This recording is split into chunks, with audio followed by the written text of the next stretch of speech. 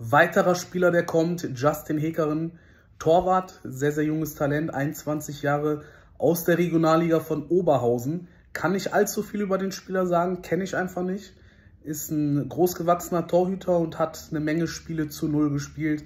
War Stammspieler in der Regionalliga West. Kann wahrscheinlich damit zusammenhängen, dass Ralf Fährmann eine Menge Gehalt verdient, vor allen Dingen auch eine Menge Prämien.